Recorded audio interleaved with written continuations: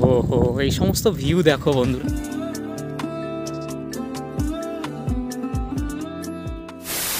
Hello বন্ধুরা, তো কি খবর সবার?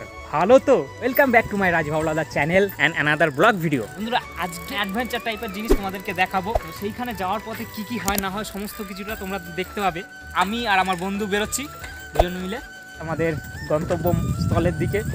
জানি না, সেই রাস্তাটা ওই দিকে আগে কোনো দিন যায়নি ও বলছে চেনে, আমার ভরসা নেই, কারণ রাস্তাঘাটে ও বলে দেয় জায়গা চিনি, কিন্তু তারপরেই বলে, আমি বুঝতে পারছি না কোন জায়গা। তো রাস্তায় দেখা হচ্ছে একবারে।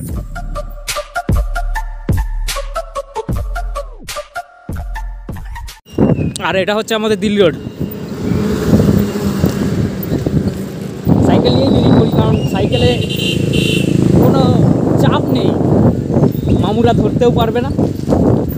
ওই কারণে আর এতে মজা এই কারণে এখানে এইটা দিয়ে যেখানে সেখানে যেতে পারো সাইকেলে করে। রাস্তা আমরা ভুলে গেছিলাম যেই কারণে ম্যাপ ইউজ করতে হলো। ম্যাপে মোটামুটি রাস্তা দেখিয়ে দিয়েছে তো রাস্তা বরাবর যাচ্ছি। খুব ভালো লাগে মানে অচেনা জায়গায় এসে ম্যাপ খুঁজে যে রাস্তা দিয়ে যাব। এইটা ভুল করেছে শুধুমাত্র। এই যে এর জন্য মানে এ এ বলছে আমি সব রাস্তা চিনি। বলে দু কিলোমিটার এক্সট্রা নিয়ে গেছি। ঠিক আছে? যাই হোক ফোন আছে যতদিন, যাওয়া যাবে ততদিন।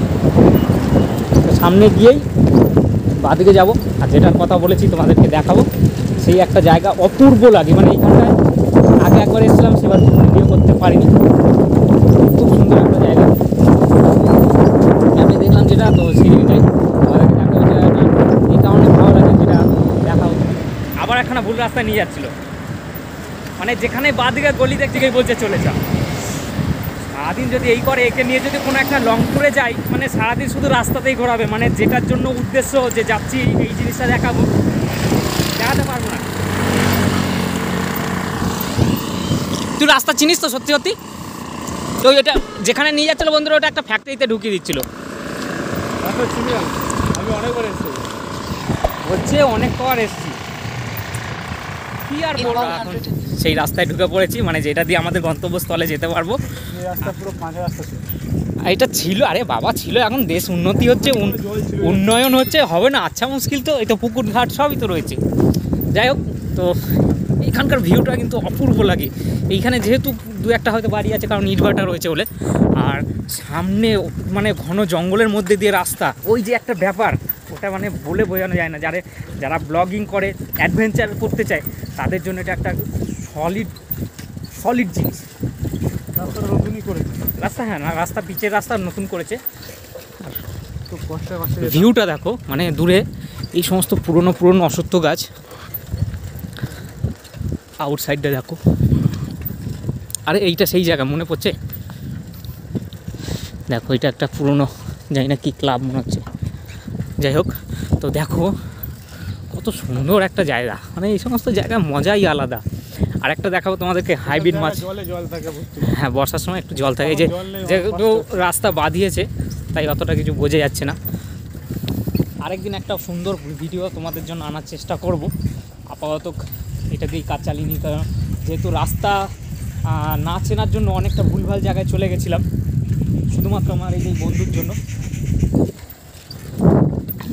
সব জায়গা জলে জলে জলে। হেভি লাগে। এই যে হাইব্রিড মগরের পুরটা এই তো এইটা হচ্ছে হাইব্রিড মাগুর মানে বিশাল বিশাল বড় বড় মোটা মোটা হাইব্রিড মাগুর আছে বন্ধুরা তোমাদেরকে দেখানোর চেষ্টা করছি। কিন্তু এইটার মধ্যে মাছ রয়েছে কই মাছ? যাই হোক বন্ধুরা দেখাতে পারলাম না যেটার জন্য মোস্ট মানে এখানে আসা। এই পুকুরটা বিশাল বড় বড় হাইব্রিড মাগুর ছিল। মানে এরকম জলে যদি এরকম করে হাত মানে ছাপড় মারতাম হাইব্রিড মাগুরে হাত কামড়ে ফামড়ে দেওয়ার ব্যবস্থা। কুড়ি কেজি পঁচিশ কেজি মাছ ছিল। হ্যাঁ আর ওই ওই আম গাছটার গোড়ায় একবার কি এখানে আমাদের এখানে দাঁড়া সাপ বলে ওই দাঁড়া সাপকে টেনে জলে নামিয়ে নিল। জল ধরা দাদা সাপ না। দাঁড়া সাপ ছিল মোটা। ঢ্যামনা সাপ বললাম ওই তো ওইটাকে দাঁড়া সাপও বলে ঢ্যামনা সাপও বলে। ঢ্যামনা সাপ বলব যাই হোক ও একটুখানি ভদ্রতা বজায় রাখল না আমি রাখলাম। জীবনে কোনো দিন এরকম দেখিনি সাদা রঙের লাইলন টিকা মাছ আমার জীবনে প্রথম দেখা এটা সাদা রঙের লাইলন টিকা আমি সত্যি বলছি এরকম আজ পর্যন্ত দেখিনি। মানে এটা একটা নতুন জিনিস অভিজ্ঞতা হলো সাদা রঙের লাইলন টিকা এই যে এক ঝাঁক ঘুরে বেড়াচ্ছে এই যে এই যে এইখানটায়। এইখানটায় ঘুরে বেড়াচ্ছে। এখানে রয়েছে একটা এই যে। ও এই সমস্ত ভিউ দেখো বন্ধুরা। সমস্ত মানে আলাদা লেভেল এইখানে পিকনিক স্পটও রয়েছে।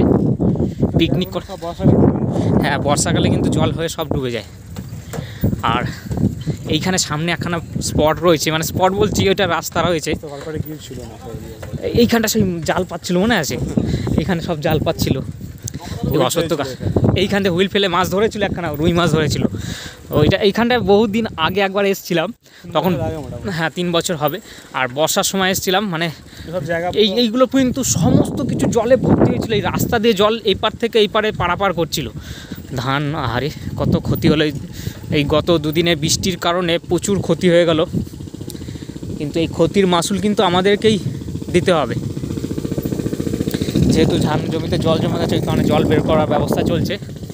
আর এই জায়গার লোকেশানটা দেখো, অপূর্ব লাগছে। অপূর্ব অপূর্ব, সেই লেভেলের মানে এই জায়গাটায় একটা শর্ট ফিল্ম নেওয়ার ইচ্ছে আছে আমার। ওই, ওইটা দেখো বন্ধুরা, এটা কিন্তু সোলার পাম্প এটা একটা কিন্তু ভালো পরিকল্পনা। ওই মাঠের মধ্যে দেখতে পাচ্ছ কি না হ্যাঁ দেখা যাচ্ছে। মাঠের মধ্যে দেখো সোলার পাম্প করা আছে। অনেকগুলো আছে। এই একটা ওই দূরে একটা, আবার ওই কোণে একটা আছে। এই দিকেও আছে বলে মনে হচ্ছে। এই জিনিসটা কিন্তু খুব সুন্দর একটা পরিকল্পনা করেছে বা খুব ভালো লাগল। এই জায়গায় হ্যাঁ সত্যি, এই জায়গায় আমরা একটা টাইমে প্রচুর পরিমাণে মাছ ধরে গেছি। মানে ছিপ নিয়ে এসেছি, মাছ ধরে যাইনি এই সমস্ত জায়গা বন্ধুরা, একটা টাইমে খুব আম কুড়িয়ে গেছি। মানে তখন ছোট ছিলাম, খুব আম কুড়োতে আসতাম। ভালো লাগতো বেশ। আর এই গাছের তলায় দাঁড়ালাম, হাওয়া দিল একটুখানি। ধূপ ধাপ করে আম পড়তো। হ্যাঁ টিয়া পাখির বাসা হতে পারে ওটা। এইখানে যখন আগে আসতাম মানে এখানে কিন্তু এত বাড়ি ছিল না। আর রাস্তাটা পুরো মানে দিনের বেলাতেও এত ঘুটঘুটে অন্ধকার থাকতো আসতে রীতিমতো ভয় লাগতো। এখানটা ছটার পরে মানে সন্ধ্যে ছটার পরে কোনো লোকজন যাতায়াত করতো না। কিন্তু এখন মানুষ বসবাস করেছে। কত প্লটিং হয়ে গেছে। জায়গা উন্নত হয়ে গেছে। তোমাদের এই ছোট্ট ব্লগটা তোমাদের কেমন লাগল অবশ্যই বলো। আজকে এখানেই শেষ করছি। আবার একটা নতুন ব্লগে তোমাদের সাথে দেখা হবে। আর শেষ, আর কিছু বলব না, কিছু বলার নেই।